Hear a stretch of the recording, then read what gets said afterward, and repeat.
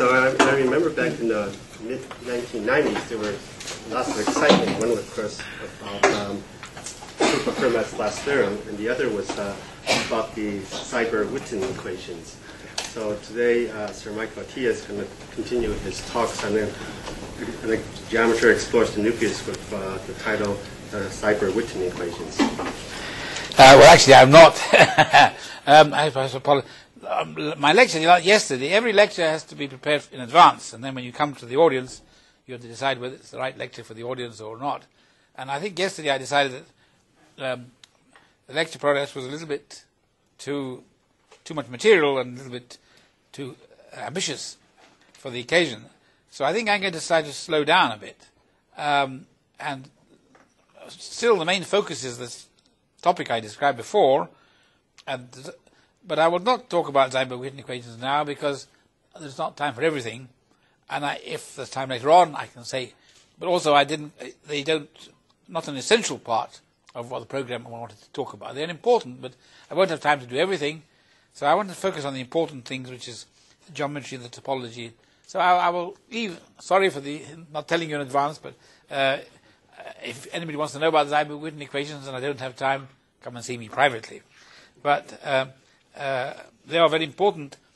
Uh, well, I should just say, comment I mentioned early on that the revolution in geometry, which was produced by Simon Donaldson uh, using ideas for physics, uh, and I want to use the results of things that are coming out of Donaldson's work. I would like to use them for physics. Uh, and the Seiberg-Witten equations are essentially equivalent to Donaldson's work, and, so, and they're more directly connected with physics. So that's why they are important, but only when we go further into the theory. How far, uh, I'll leave them aside. But let me get back to the main topic that I'm trying to describe. I'm trying to see whether it's possible to find models of protons and neutrons, which are called baryons, in terms of four-dimensional geometry. And I'll come back later to exactly what kind, but four-dimensional Riemannian manifolds. Uh, now, besides baryons, there are also things called leptons. They include the, basically the electron and the neutrino.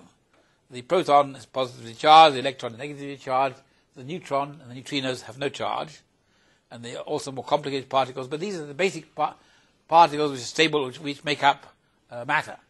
And so it, well, I started off with the aim of getting uh, geometrical models for baryons, but on the way it seemed also natural to think one can, whether one could do the same thing for leptons in parallel.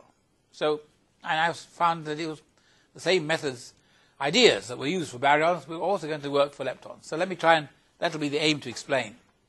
Now I started off last time talking a little bit about um, solitons in general, and I mentioned that there were these uh, uh instantons, SU2 instantons and R4. SU2 instantons, these are the things that did, Donaldson did use on general four manifolds to get very powerful information, and they are the solutions of some um, nonlinear partial differential equations associated with different groups, and the, the solutions are given by what is so-called the self-dual Yang-Mills equations, uh, which you have to solve and on a compact manifold or manifold with suitable conditions of boundary, there are finite parameter space of solutions, and these are the moduli spaces of instantons, and there's a big theory.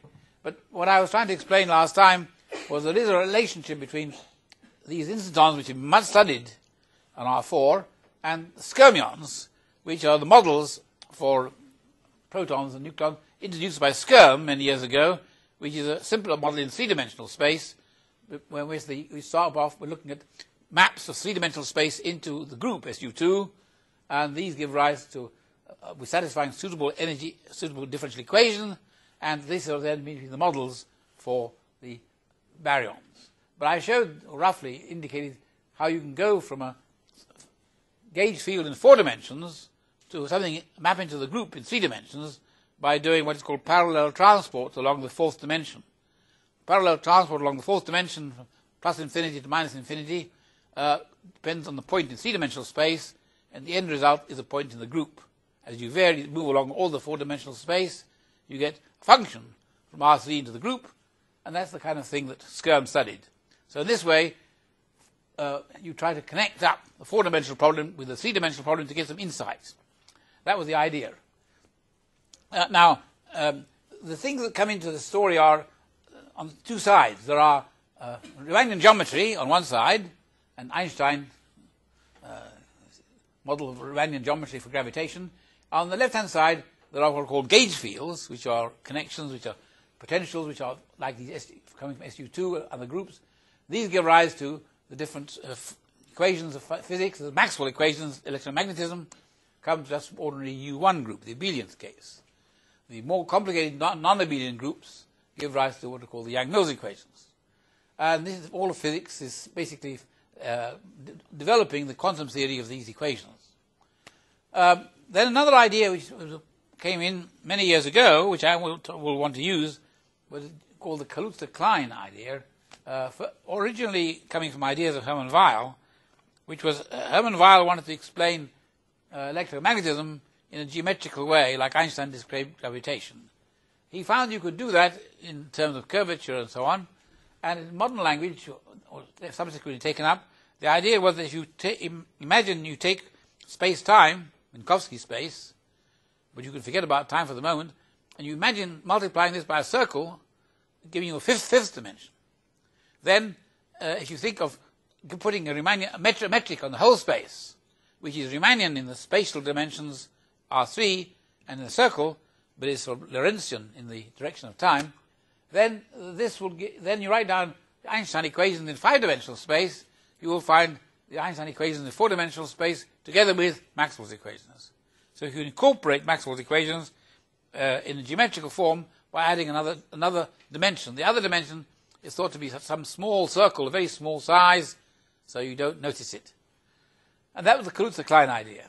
Then there is the Penrose approach to uh, geometry and with physical motivation, in which um, so all, all the, very, the basic equations in mathematical physics, Maxwell, Yang-Mills, uh, Dirac, Einstein, if you, these equations, if you divide them up into what are called the self-dual and which you can do in some sense, then and only focus on half the equation, then you can solve these equations by a beautiful method developed by Penrose, depending on his twistor theory, in terms of functions of three complex variables, holomorphic theory. Very powerful theory. Solved, and I'll say more about that. So this is a very powerful tool, and I want to use that.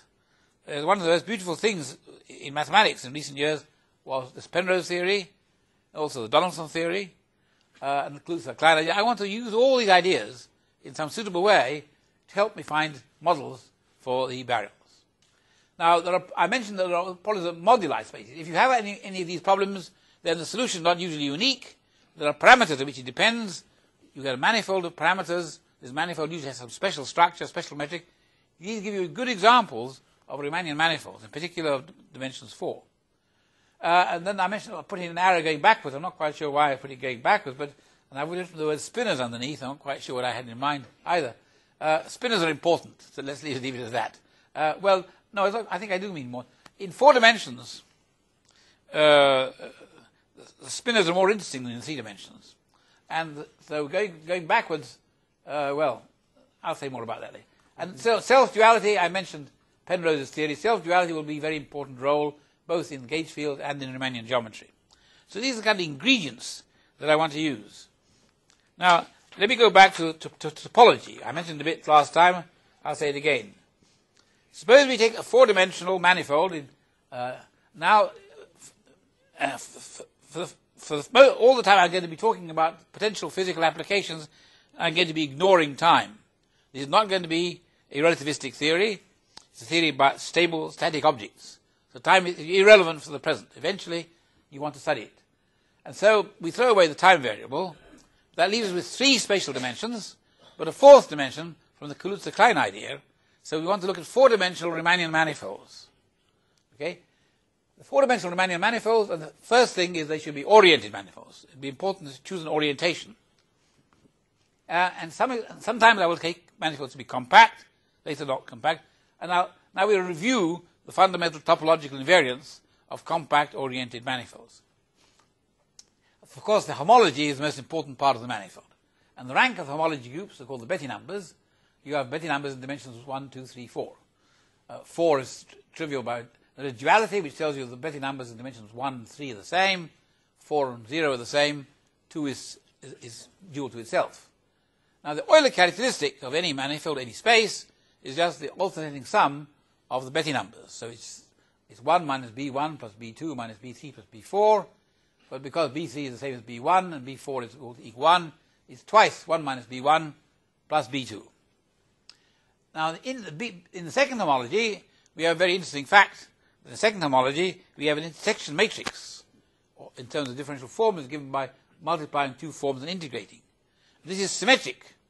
Unlike in dimension 2, where the middle dimension is, is 1, and there you get a skew-symmetric matrix. Now, skew-symmetric matrices have no interesting invariance except their rank. Symmetric matrices have a signature. You put a diagonal form, some plus signs, some minus signs. And so the, the middle dimension, B, B2, breaks up into two parts. You call B2 plus the number of positives, number B2 minus the number of negatives, and this is an important part of the topology. And the signature is defined as the difference between B2 plus and B2 minus, and it was actually Hermann Weyl who first drew attention to the topological fact that there was an interesting invariant in four dimensions, which is not no counterpart in dimensions three or two.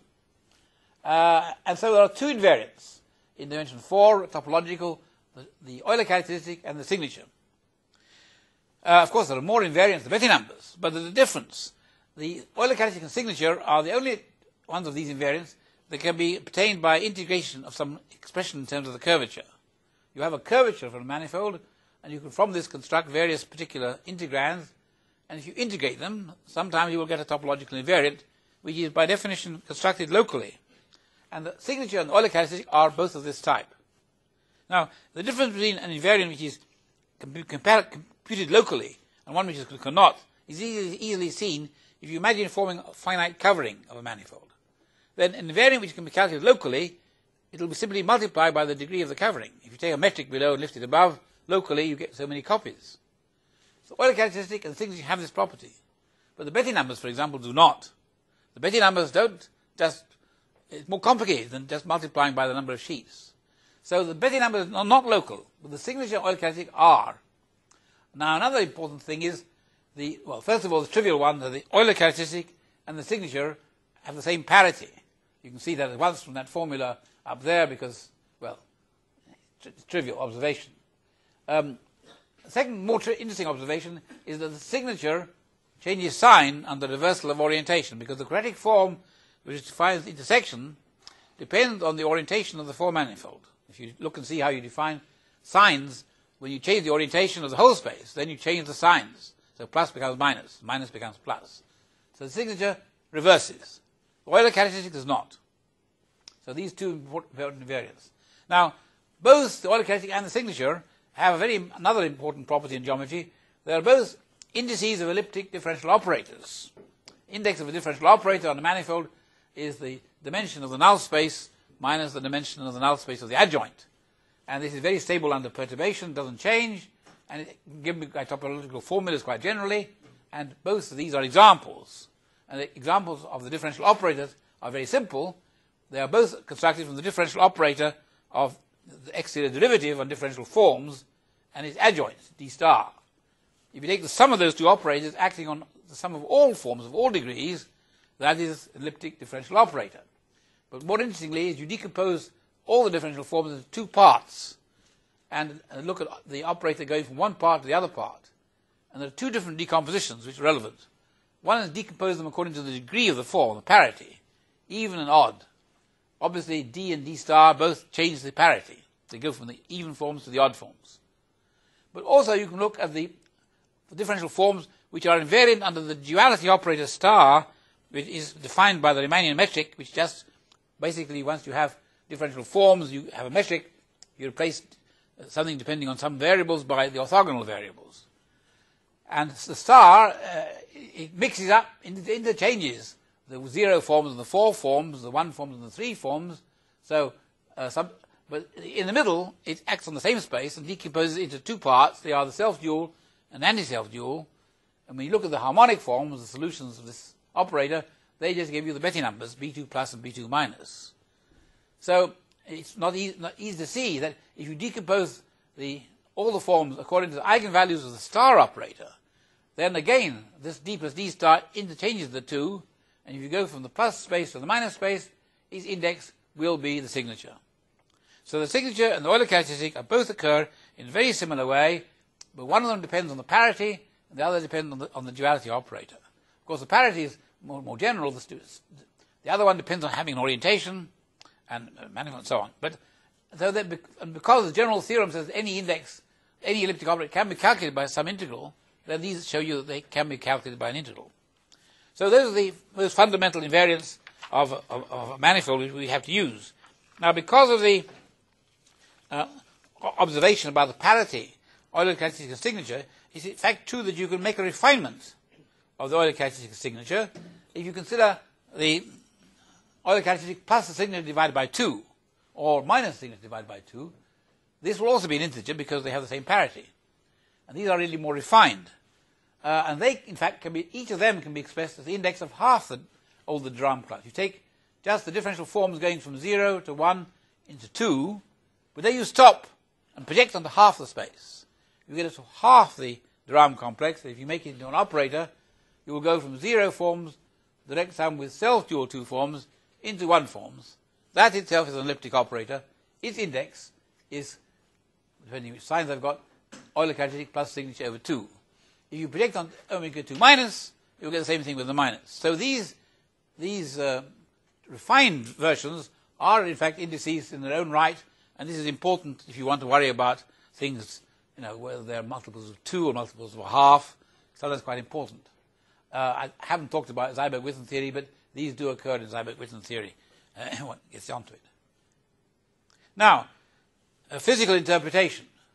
Um, the idea is that these, uh, the two integers we have, the two topological invariants, should in somehow be related to the two fundamental integer quantities that occur in physics. There's the baryon number and the electric charge. So we know that both baryon number and electric charge are integral quantities. They're integer multiples of a fixed unit. It's a very fundamental fact about both of them.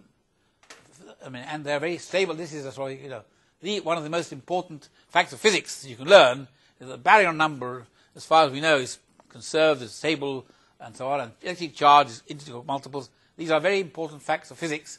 And so if you can relate them to, to topological invariants, we will have made a fundamental first step in getting geometrical models for physics. So uh, now, because when we reverse orientation, something happens, the signature changes sign, we should worry about what happens when you change orientation. So the first proposal, these are all proposals of models. I only got a, I'm a salesman. I'm trying to sell something. You know, you go to the physicist and they say, I want to buy uh, a proton. Well, I say, here is my, my model. Um, and so the first observation is, if you reverse the orientation, what should you do? Well, you should get the antiparticle. Physics made out of baryons and proton, proton, but they're also antimatter. Antimatter is made out of, and every particle is an antiparticle again the universal law of physics. Whatever particle you've got, you put anti in front, and there's another particle. It may be difficult to find it. There's not much antimatter in this room, fortunately, because if matter and antimatter collide, there's a big bang. Uh, but uh, the, the, I mean, for example, the electron, the anti-electron is called the positron. The positron was discovered experimentally, and nowadays you probably know about uh, PET scanning, the positron, electron. I mean, they, they, they, they are used they can be constructed. So positrons exist, antiparticles.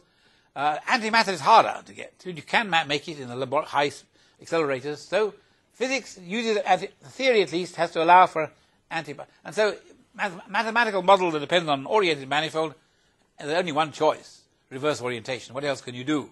So every manifold, whatever it is, you can reverse the orientation. Okay? So you cut the problem in half. Only think about half the manifolds. Um, Secondly, let's look at topology change. Um, if you have any manifold, uh, then two manifolds, you can sometimes you can think of gluing them together. You cut a little hole in one, little hole in the other, you put a little tube pipe, and you glue them and make a bit more complicated manifold. Or you can think of the process the other way around. Take a manifold, cut it in half along something, and then glue, fill in the halves and separate them. So, uh, in physics language, this would be called fusion and fission. Fusion when you bring them together, fission when you bring them apart. Don't mention the words, you know, when anybody is listening, they might think you're a nuclear terrorist, but uh, uh, this is topological terrorism.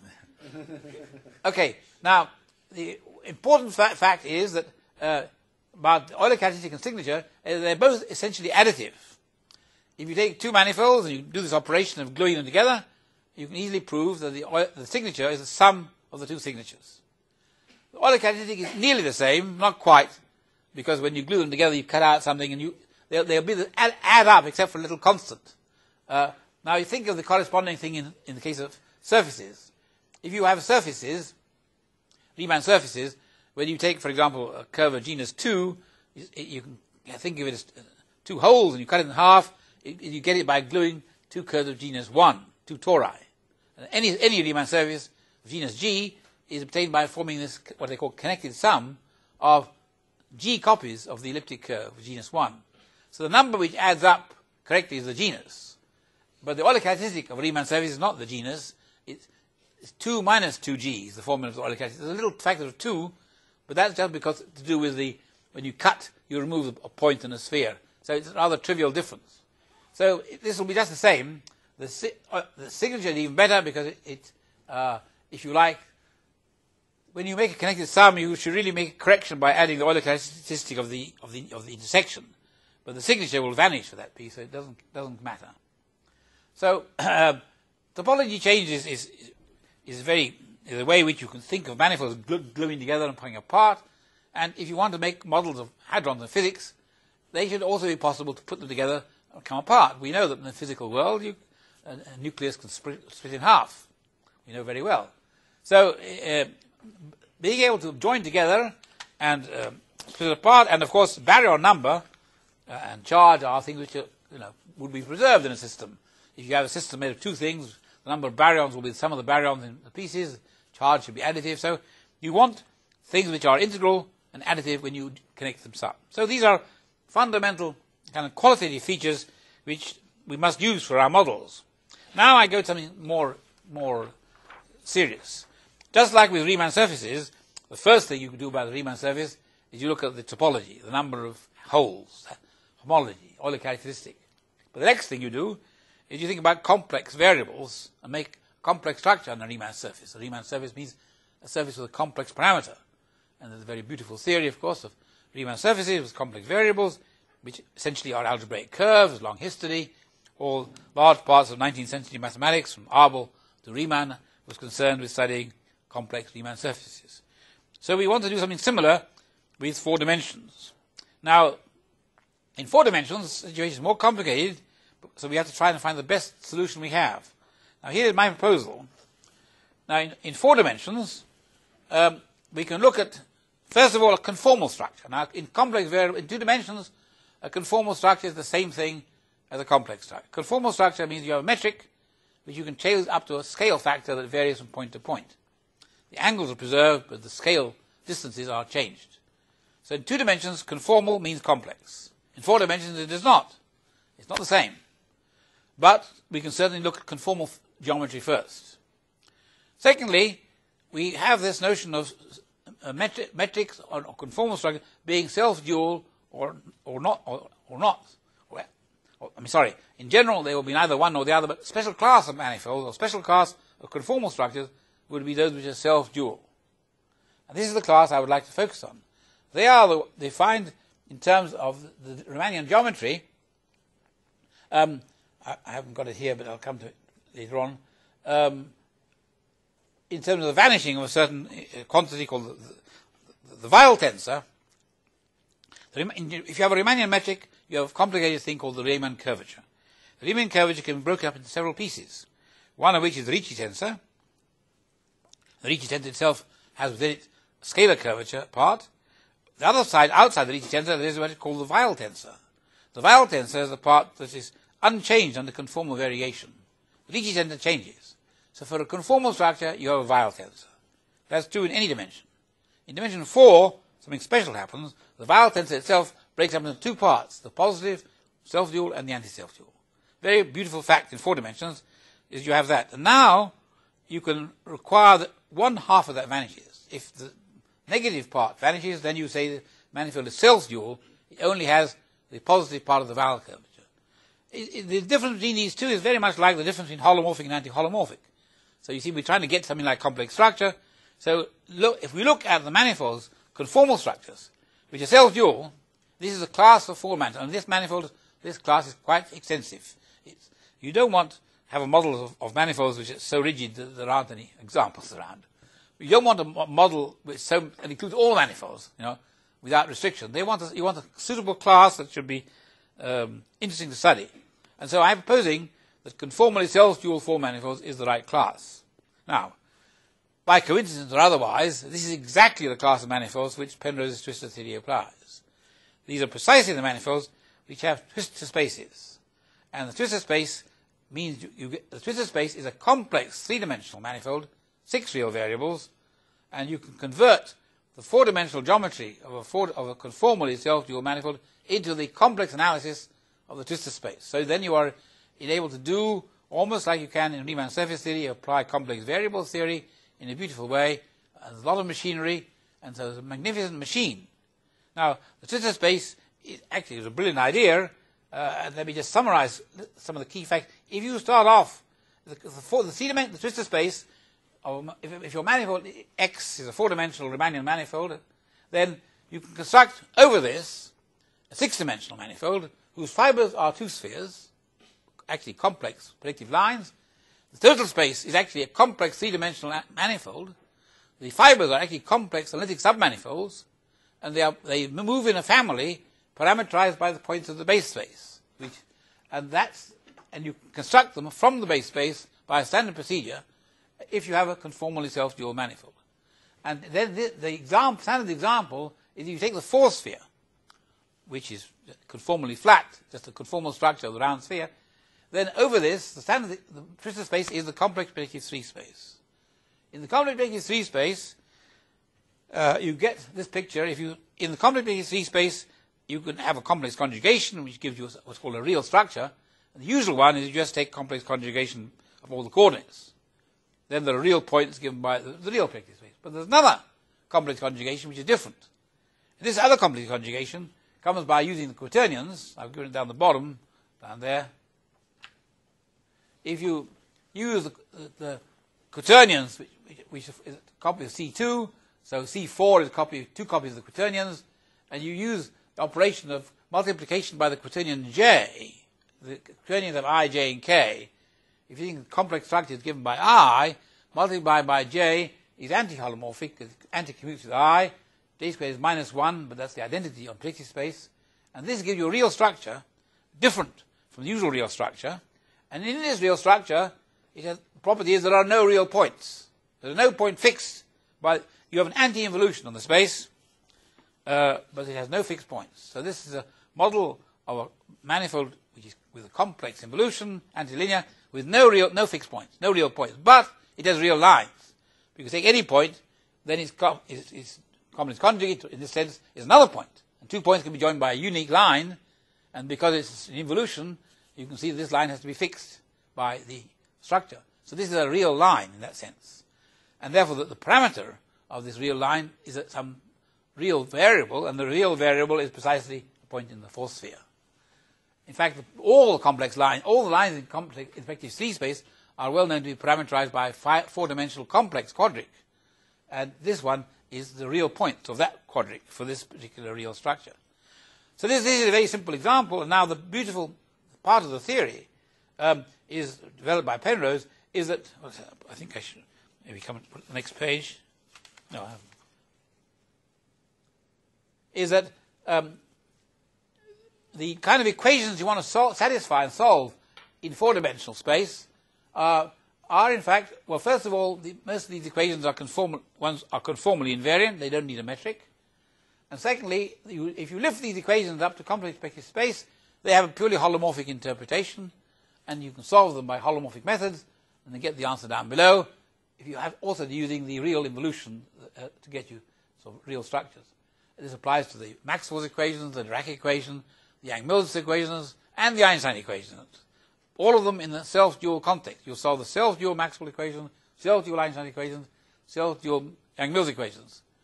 Um, even though the Yang-Mills equations and Einstein equations are very, very nonlinear, the theory still works. It's a very beautiful theory. So, exceptionally powerful piece of geometry, mathematics, which in this class of manifolds is exactly what you need to get a very powerful analytical tool. So we have now model of manifolds which has a lot of good features. You have techniques understand it, use it. It's very much like complex uh, variable theory, like Riemann surfaces. And like Riemann surfaces, I can get to it somewhere. Um, no, I'll come back to that. I'll leave that. I'll tell you more about later. I think I've gone ahead of myself a bit. But let me um, digress a moment. Um, I said at the beginning that I was going to deal with compact manifolds, but I also want to use some non-compact manifolds. Just like with Riemann surface theory, you may want to take a Riemann surface and, for example, puncture it at a point. And then you get non-compact Riemann surface. It's a very important part of the theory. And in fact, if you want to um, take a connected sum of two Riemann surfaces, you can think of it as trying to pull them apart along a tube that you stretch away.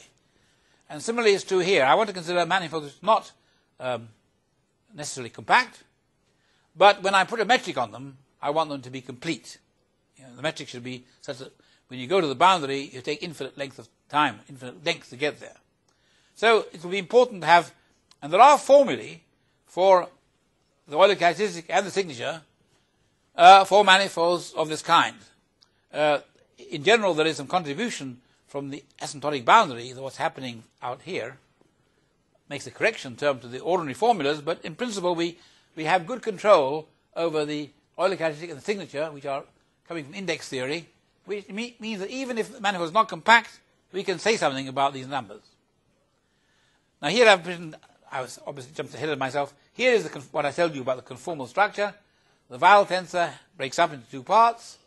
Now, the formula I told you that was said that the signature was given by integral formula can be written like this. The, the uh, Weyl tensor has a natural L2 norm. In the middle dimension, the norm squared doesn't depend on the metric because you take a two form times the star of the two, two, two form and integrate a four form. No, no metric is required, only the star operator, which in middle dimensions is conformally invariant.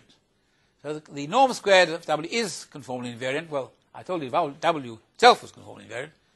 And if you take the difference between W, the norm squared of W plus and the norm squared of W minus, up to a factor of two, 12 pi squared, this is the signature formula.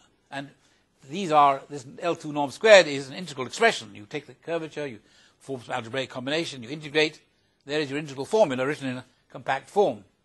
And now clearly you see that if the W minus is zero, then immediately it tells you that the signature is greater than or equal to zero. So for a self-dual manifold, first observation is the signature is greater than or equal to zero. Now, if this four-dimensional manifold is, uh, I've written down there, is meant to be a model for uh, a baryon, then it has a baryon number, and the baryon number is not negative. It tells you how many baryons there are. There can be no baryons, one baryon, two baryons, but no, there are no, you can't be missing. So it's important that your invariant which tells to tell you how many baryons there are, should be positive. And here the signature is positive, exactly for the class of manifolds we pick. So you can think of it as uh, other way around. If you want to choose a good formula, class of manifolds, this suggests a possibility. But by the way, when you reverse the orientation, a self-dual manifold automatically becomes an anti-self-dual manifold. So when you reverse the orientation, the signature will change sign because now you're counting antibaryons. That's, that's okay. That fits in with the notion of changing from a particle to an antiparticle. So, uh, so far, it, this looks like we've made, by the way, I'm, I'm giving you the outcome at least one or two years of struggle, trying different models of mathematics. what is this, what is right, and you know, making mistakes and getting contradictions and so on. So after clearing it all out, I think I've got now a model that is reasonably convincing. I'm not telling you it's simply like this, but it took a lot of hard work to get to this point, because there are many choices you can make. But still, it is encouraging. Now, the twistor theory, as I mentioned, this is summarizing what I said before, enables you to solve all these beautiful equations by, uh, I mean, when you go to three complex variables, you, you not only have a beautiful theory, but it's much more sophisticated than the theory of one complex variable. You have to deal with higher sheaf cohomology groups, all of modern complex analysis, but it's a very powerful theory. We have a lot of information in complex geometry. So this is, uh, we, we, we can deal with it. Um, and now the point about connected sums, if you have Riemann surfaces, you can glue them together, you know that, uh, and you can make complex structures behave like that. And the answer is that if you take these self-dual manifolds, it's also true that you can glue them together.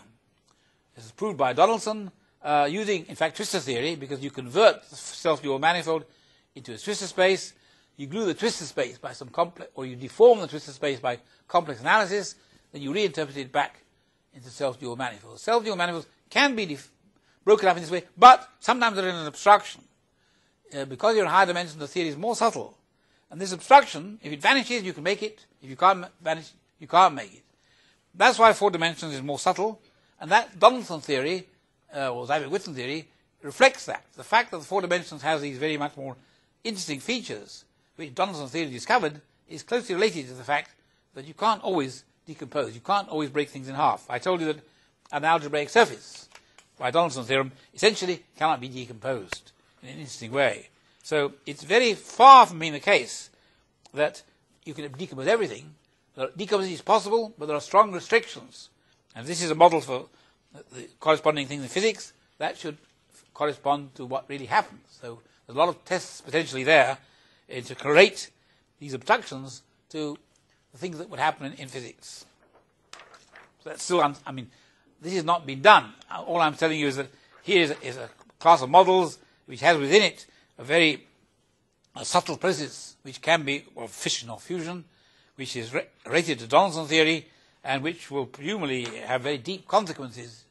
And if it's, if it's the right model for physics, it should relate to deep things in physics. So it's, a, it's an offering uh, which would not be available if you had a much simpler model. So here, as I've told about the related sum.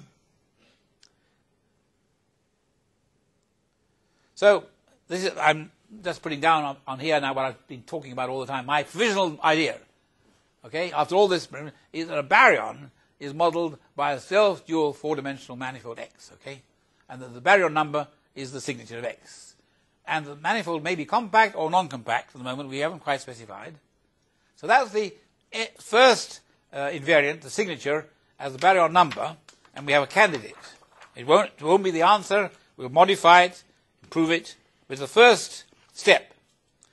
Now, if we go to the back to the um, Kaluza-Klein idea of, of pictures of manifold, in the Kaluza-Klein idea you have this fifth dimension, the space-time. But if you forget about time, we're really going to be dealing with four dimensions.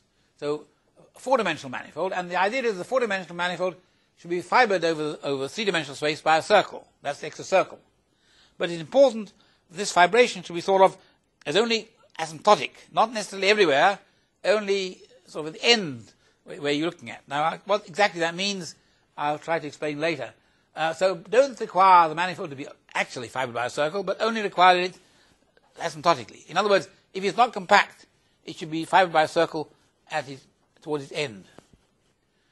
Uh, now, uh, here is the first example, uh, and now we want to see how this is related to electric charge. Now, um, I should say that the model I'm going to talk about will be one in which is very familiar to physics, but I've replaced electric charge by magnetic charge. I've interchanged their roles. It's well known that electricity and magnetism, in some sense, are dual, and I'm going to use that duality to use the electric model rather than the magnetic model. And this is convenient because the, the magnetic model, what's called the, the Dirac monopole, I think I mentioned, may have mentioned it before, has been known a long time. I'm now going to relabel that and call it the electron. Because a point, isolated point of magnetic strength is a fiction. It doesn't actually exist. But an isolated point of electric charge does exist. It's called the electron. So, you know, the electron is the most, is the most obvious model to have in this game. It corresponds to the, the manifold which is used in this game. Now, that manifold is used comes this way. Let's start with the most important bit of topology. We, we, I've mentioned already the Hopf fibration. Uh, so if you start off with C2, acted on by the complex numbers of absolute value 1, um, then if you uh, go away from the origin, then uh, what you get is the projective lines, is the two sphere. Um, and so we want, the we want the manifold which looks asymptotically like that. So you have a manifold which, away from the source of the charge, it looks like uh, lengths going off infinity, times of uh, Hopf fibration over the two sphere below. The two sphere will be in three dimensional space, will be what you will see. look, if you're outside in three-dimensional space, you will see the outside of this particle. The particle is the electron. Uh, you don't see inside very carefully, but you see the outside. And, and this, this, what you have inside is what you call the singularity, uh, where the electric charge sits. Except it's not really a singularity. In the case of the, the manifold we want, it's a point in four-dimensional space, but it's a point, actually, in these examples, where the circle is shrunk to a point. So the manifold above is actually acted on by the circle, the manifold is in fact C2. As you get to the origin, the circle is shrunk to a point. So C2, with the action of a circle S1, is in some sense the model of the electron. Not quite, but very, very close. It gives us the right topology. And the fact that the first Chern class of the bundle on the boundary is 1, Hopf fibration, will explain why the electric charge of the electron is 1. This is basically Dirac's argument inverted. If you're outside the two sphere, the amount of flux that comes through is unit flux because the topology of the Chern class tells you that. This is argument originally used for mono, with the monopole interpretation, but we can change the interpretation to make it. The, so the electron basically is going to be just that basic picture, C2 with a circle action. Now I mentioned already that we have this electromagnetic duality, and I've used, I've changed the picture so that what was called before a, a monopole is now called an electron. Uh, it seems better. Now, or a positron. That depends on the orientation you give to C2. C2 has its natural orientation of a complex structure, but it has also the opposite. And it's a matter of convention which one you want to choose. And it's a bit confusing to keep these things straight. So let's just say one choice gives you the electron and one choice gives you the, the, the positron. Now notice that the uh, C2 has no topology. There's no homology groups. Signature is zero. But that's fine because signature counts the baryon number and the electron is not a baryon, it's a lepton. There are no, I mean, lep, the, the, electron belongs to a different family from the, from the, from the baryons. The baryons uh, have sort of the large, the protons are the large heavy things of matter. Electrons are the small light things. They have electric charge, but they don't sort of carry weight in that sense. So they're very different, and the difference is there's no topology. There's no, no Betti number at all. So it's ideal. This is fine. This is very good. I said good, exclamation mark. now, if you move on from there, so that, that tells you what charge should look like. The charge should look like, coming from the Hopf bundle over the sphere, it should look like the electron. So for the proton, we want something to now mix. It wants to, we want to have a non-compact manifold so we see the electric flux coming out. Just like with the electron, except we want the opposite sign. That's the question of orientation. We want a self-dual four manifold, but now we want signature 1, because baryon number is 1. And we want the behavior uh, to be like a positron at infinity. In other words, we want to behave like the electron with opposite orientation. And it should have a circle action at infinity, just like the electron has. So what candidates can you find? Well, here, here's, here's what first natural candidate might be think of just take the complex plane and remove a point. And then sort of stretch it out.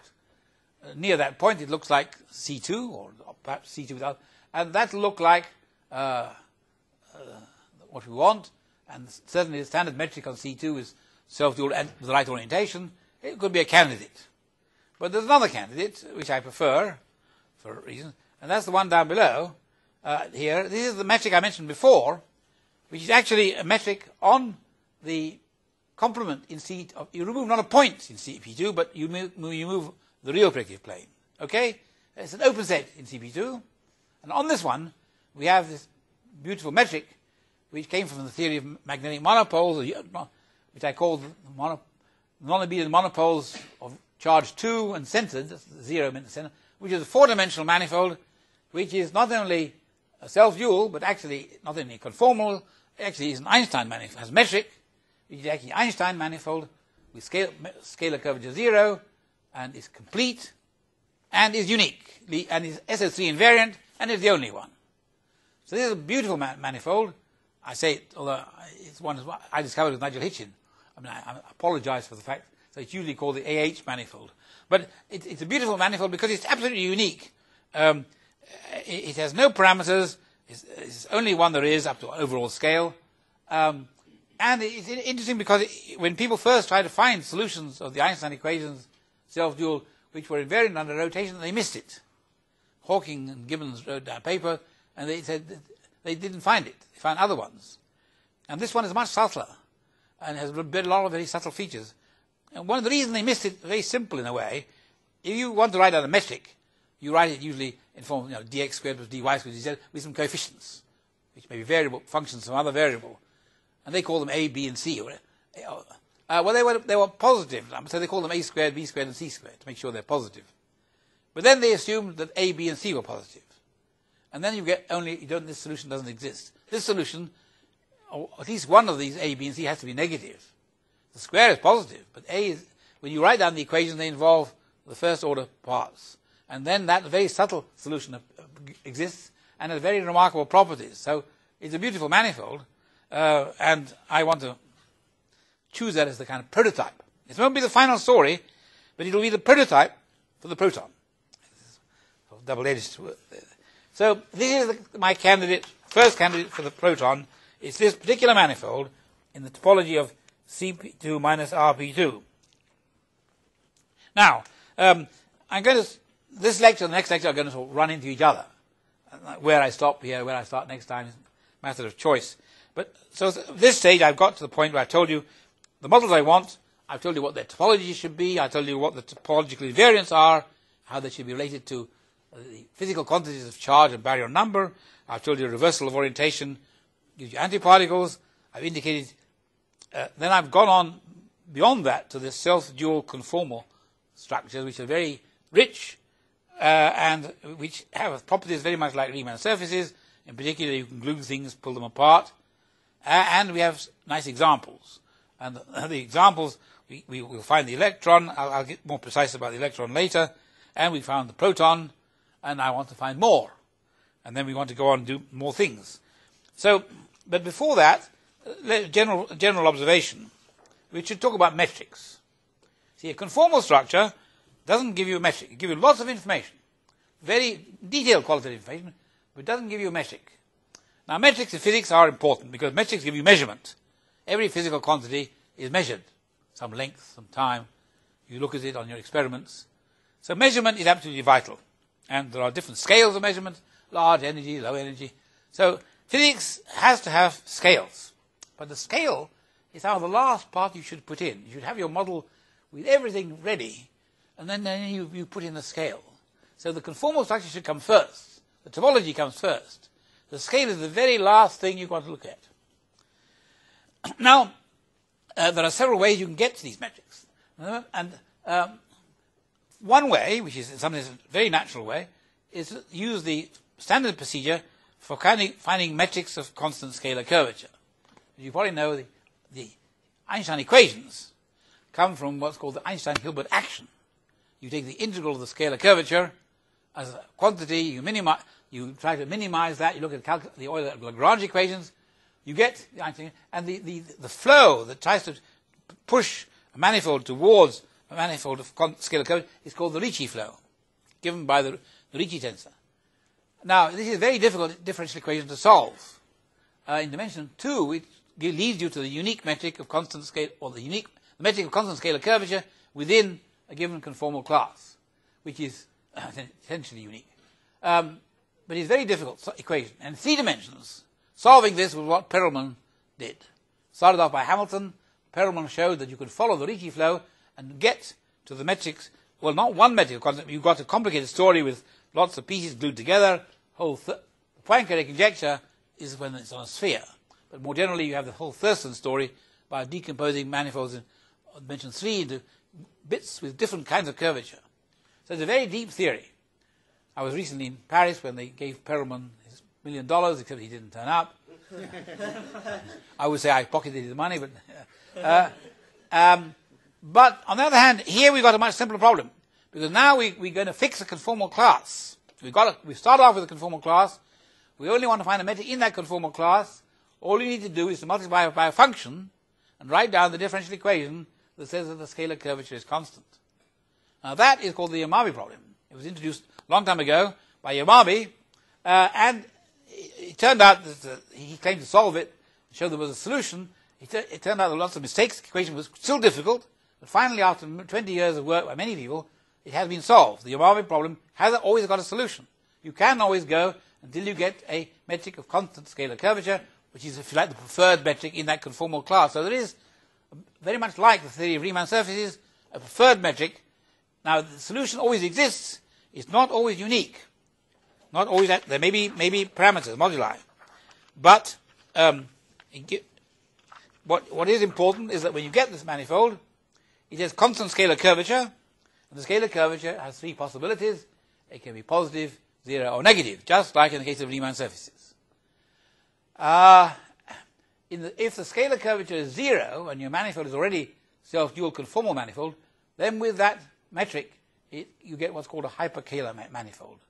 A hyperkähler manifold is a beautiful manifold which is closely related to the quaternions. Its holonomy is inside SU2. Uh, it's, it's, it, it, the, the, in four dimensions, the holonomy group in general is a four-dimensional rotation group. But the four-dimensional rotation group breaks up, essentially, into two copies of SU2, left and right. And if one half of these vanishes, then the holonomy lies entirely in the other half. These are the hyperkähler manifolds. They have the property that their tangent space is naturally a vector space over the quaternions, and the quaternion operators are covariant constant as you move around. So it's a very rigid. Now they're quite rare, but not as rare, as you, fortunately, as you might think. If you want the manifold to be compact, they're extremely rare. For a compact manifold, you only have the torus and the covering, uh, and the one exception, the famous K3 surface, the quartic, general quartic surface, with the famous Calabi-Yau metric. Otherwise, they don't exist. No, no, but they're they're they're they're they're, they're, they're compact. No, there aren't any more compact ones. Not not hyperkähler manifolds.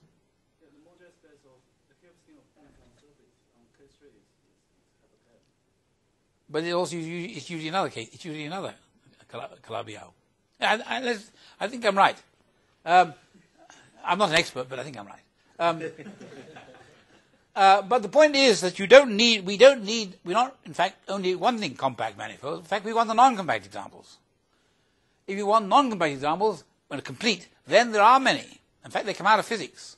In fact, I told you one already. My model of a proton is a non-compact example. So non-compact hyperkähler manifolds are actually, do exist in quite large numbers. And so now, so now we really look at our examples. Our basic examples we want four manifolds. Okay? These will be, they will not be the final version, they will be the prototypes. I'll explain what I mean by the prototypes. But there are four manifolds, and they come in two lots, two by two, so square. Uh, these ones here are compact. Um, these ones here are non-compact. Um, these ones here are mo- models of. Um, around. Uh, sorry. These are, these are, these are compact. These are non-compact. Uh, these are going to be models of, of uh, baryons. These are models of leptons. Okay, so we have two classes of manifolds. For the baryons and the leptons, the ones are blue and ones are green. And within, within those, we have two kinds, those which are compact, those which are non-compact. The non-compact ones have electric charge, and the compact ones have no electric charge. If you think about it, the electric charge is what comes out of the manifold. If the manifold is compact, it's got no charge, no, you can't have charge to lose. It's like having a function with no poles or a Riemann surface. So the compact ones have to be models of, this is to be the model of the neutron. This is the model of the proton. This is the model of the electron. This has to be the model of the neutrino.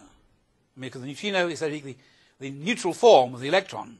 You compactify this to get this. You compactify this to get this. So they're very, they're very parallel. This one has interesting homology. It has signatures, interesting signature 1, uh, this is signature 1, the baryon number 1 is in both cases. These ones have no homology because they're, they're, they're leptons. So, I mean, this stage I sort of bow and then uh, large applause, I get my Nobel Prize. And all. So, it, but the, if, you, if you look at, if you're naive and uh, this level, I don't think you can ask for better models in terms of these models, these spaces. I, I mentioned already some of the geometry of these spaces, why they come exactly. This RP2 is a rather subtle one, but this manifold is subtle. Um, they're really fund- very, very fundamental spaces, and I'll show later on, they all come out of one point of view in a way. There's a unique sort of starting point. Uh, and they just differ in the, cu- they have to differ in certain ways because one wants to be compact, the other wants to be non-compact to give you electric charge. One of them should have homology and the other should not have homology to give you baryon number. And you couldn't get asked for anything simpler than that. So claim is these are my candidates, or these are prototype candidates. Now, obviously, from the nature of them, you can see that whatever these manifolds have very large symmetry groups. They're big symmetry groups, uh, which is sometimes good and sometimes too good. You know? uh, but they have very obviously they have large symmetry groups, and in physical systems, you very often want to have big symmetry groups. Later on, at some stage, you may want to break the symmetry. You've heard a lot about broken symmetry in physics. The famous Higgs field is something that breaks the symmetry. Um, and breaking the symmetry quite often is required to produce variation. So the prototype will be kind of the father figure with maximal symmetry. And then later on, you will want to do something to break symmetry, do something else. So this, this is the first step. It's a prototype with these other things before we embark on any symmetry breaking and, and, and, or anything like that. Now, this my next slide really just says that, but let me just put it up for you. So this prototype are the models for the neutrino, the electron, the neutron, the proton, um, and what I said about charge. Um, now, this is what I said about the uh, symmetry breaking. Um, what have I said here? Oh, yes. Now, uh, um, so I think I'll stop at this point because it's a good stop place to stop, logically and also from time-wise. Um, after the next stage will be to say we want to deform these these prototypes by some parameters to give models which break some symmetry and are more physically realistic and you know have uh, good contact with reality. These are the father figures um, which everything starts. And there, in fact, will be two parameters. Uh, one parameter will do one kind of deformation, so one parameter deformations. And both parameters will actually can be thought of as coming by a sort of suitable process of um, by a certain U1 symmetry which produces a moment map, as one does in spherical mechanics, and that parameter, the value of the moment map, will be the parameter which you want to vary. The different choices of different meanings geometrically, and because they come from U1 moment maps, these parameters real they are real numbers, but the integer points on them have some special meaning. And sometimes they're quantized. And I think that may have some physical meaning as well. So I will describe next time, tomorrow, what these two parameters are, what they do geometrically, and what they might correspond to physically. Uh, I've got some guesses, suggestions. I mean, all this is, you know, you produce a physical model and you say, look, this suggests that it might be related to these are trying to establish the, the kind of framework which you would then try to plug into physics. How it fits into physics, you'd have a lot of work. But you want a model that has at least some uh, plausibility from the point of view of physics. And so we start with these prototypes, and, and I say this fits in very well with, the, uh, in particular, the notion of mass is very important, as I pointed out to you. The, originally, we start out with the conformal structures, and uh, we want to get to the, uh, realistic mass parameters. And mass will be one of the things that's going to vary, in some sense, the parameter. And physicists do that a lot. They call it renormalization of mass. They, they, they have mass. And uh, so that, that will come into it. By the way, I, I mentioned the Yamabe problem as a way of finding the distinguished mass, the distinguished curvature, metric scale. Um, but there is another process, as I mentioned before, in the Penrose twistor program, uh, you can, with a conformal structure, you can write down the twistor space. But if you want to find a metric, an Einstein metric in that class, there is a procedure which Penrose worked out, what you have to look for within the complex variable theory. And if you do that, you get your metric. Now, that is not a constructive process. The, you, you, say, if there is, you find a solution, if you find it, that's it. Uh, the Yamabe problem says you solve the differential equation, and if you can do it, you get to the solution. It's a limiting process. But in principle, both are, the, are ways of getting to the metric you want, by natural methods within the context either of the differential geometry or in the context of the holomorphic theory. So I think I'll, I'll, I'll stop there because I'll keep these two parameters up my sleeve as the sort of you know, exciting thing for next time. Okay, thank you.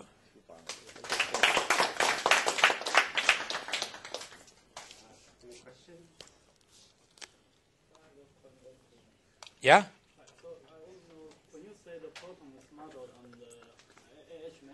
Yes. Do you mean that the proton can be thought of as a connection No, the connection, the proton I think of as the manifold. Let me, let me try and, um, I mean, this is, this is, important to think. let me- So let me uh, let me see if I can find a.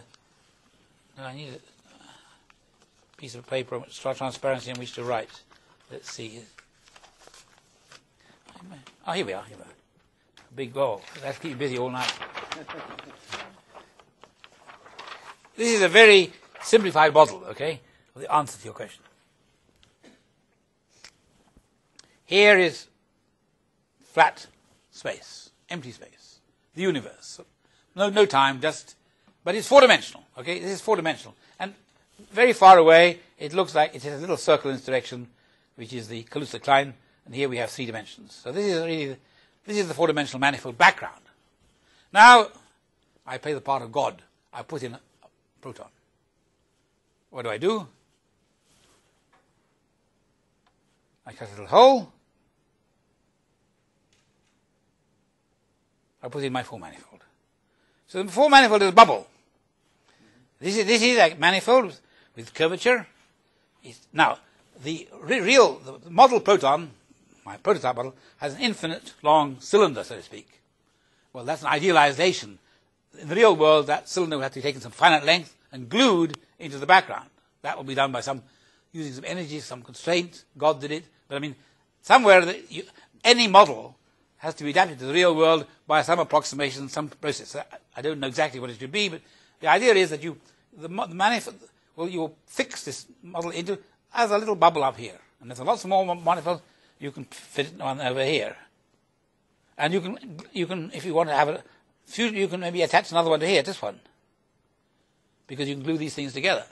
So, the, the, the world of matter has all these bubbles in it, which you don't really, if you're in three-dimensional space, you see, you don't see this fourth dimension. We see, the four-dimensional manifold is the model. We live in a, well, we think we live in a three-dimensional world, we don't see the extra dimension. It's anyway too small. The scale is too small. But down here, in this three-dimensional space, we see the boundary, the asymptotic boundary uh, of the Hopf bundle, we see a two-sphere. Inside that two-sphere, we think there is the proton. But it's not quite right. Inside the, the two-sphere, there is really a four-manifold. We're ending up with a three-sphere which fibers over the two-sphere. And this four-manifold is really the inside of the proton. But we can't see inside the proton. All we can do is send light signals, reflect boundary, get experiments. So physicists live out here. This is the lab. Okay, they shoot electromagnetic waves in here. They reflect back. They look spectral analysis, uh, and they, they say, ah, this, the proton has this structure, it has this shape, or any other baryon. The real chap, the baryon, is a manifold. He has a metric, and his metric tells you what kind of signals he sends out. If you send shine light on it, it will reflect light in some way because depending on the curvature of the, of the object. So the geometry of this determines the um, linear information the experimentalist gets. Experimentalists always measure with apparatus. The apparatus basically uses the electromagnetic spectrum. Nothing else. What, how can you measure anything? Basically, they're all signals, electric signals.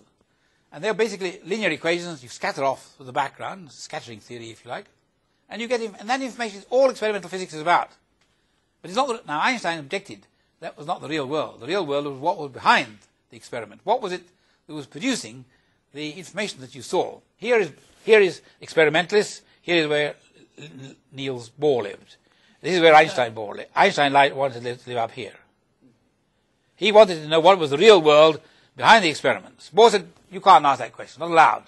We are experimentalists, we send in signals, we get back signals, that's the data, that's it. That's what quantum mechanics is. Einstein said, no, no, no, I don't believe you. There's, there's something behind. And I'm trying an Einsteinian. So I'm, my picture is meant to be trying to, some way, hopefully, in some way, see if we can recapture Einstein's vision that matter. You see, in Einstein's equations, he said in time, the Einstein equations have two sides. The left-hand side, which says the Ricci tensor uh, uh, was zero in empty space, um, and the right-hand side, there was matter, was due to the matter and produced what's called the stress energy tensor. And Einstein said the left-hand side of the equation is beautiful, the right-hand side of the equation is a mess.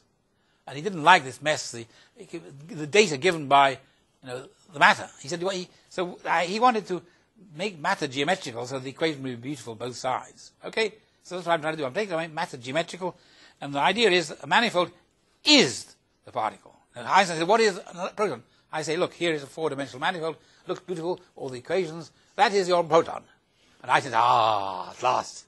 So um, this is a dream, okay? Um, and it, it, it, could be all nonsense. The physicists may just not like it. Uh, I may fail, but at least I will have failed, failed. You know, I will have died on the battlefield. I will have tried hard. uh, I, so I think it's, it's, it's, at least worth, worth trying. Just because people have failed for 100 years doesn't mean you can't succeed eventually. But uh, the picture is very appealing, you see, this, this kind of picture. I, I think, and of course, I haven't at all attempted to answer the question about quantum mechanics. You know, if you're trying to sort of give another picture of physics, everybody says, well, what about quantum mechanics? Well, sometimes we will start immediately trying to understand quantum. I think it's a mistake. You should start further back and only get to quantum mechanics when you need to. And you gradually you see how much physics you can try to describe in, in geometrical form, and eventually perhaps the quantum mechanical stuff will emerge. We'll see what it is the quantum mechanics is. What is it telling us about it? Certainly quantum mechanics is all involved in this spectral analysis. That's what you see. And the, one small indication of some hope is that is hidden in this picture.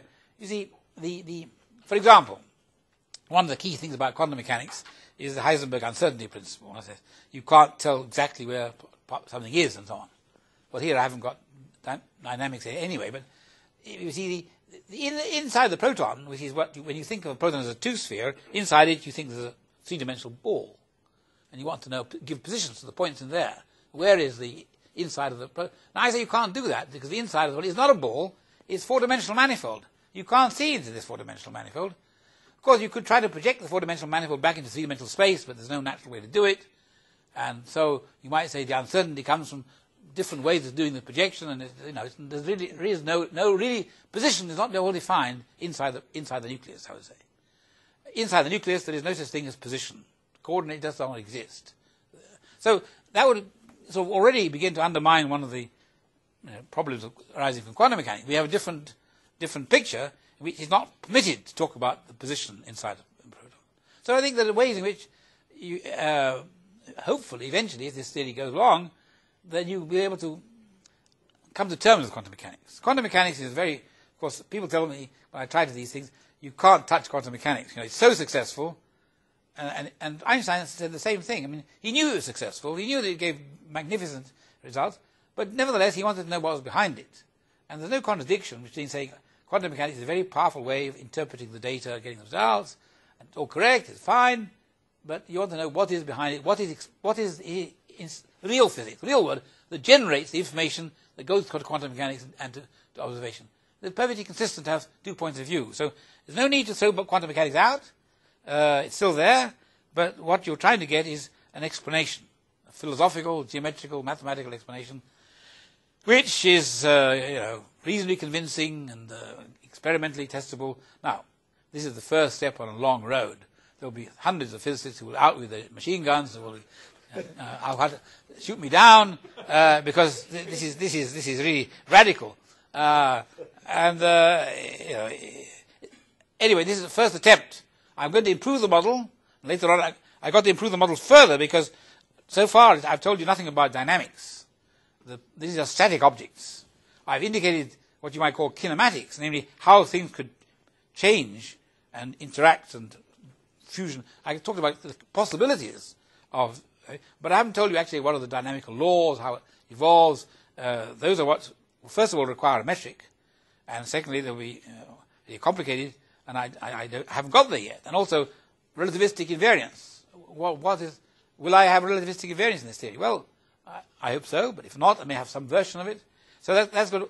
So the next stage, I may get to it, I have ideas on this, will be to incorporate dynamics, motion.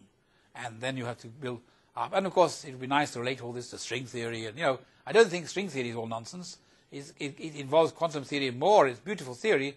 And a lot of the ideas in here have come from string theory indirectly. So this is hopefully will integrate into the string theory. It will be a sort of part, and maybe the string theory will say, ah, we knew this all along, you just, all you're doing is using fancy language, we have a better language for it. So, you know, they may, they may take me over and say, you know, we, we, we can do it better. well, all right, I, I, wait and see, but that, that's, um, anyway, sorry, hope that was a long answer to your question, but it was a good question, and I had to draw this picture. There's a physicist. yeah.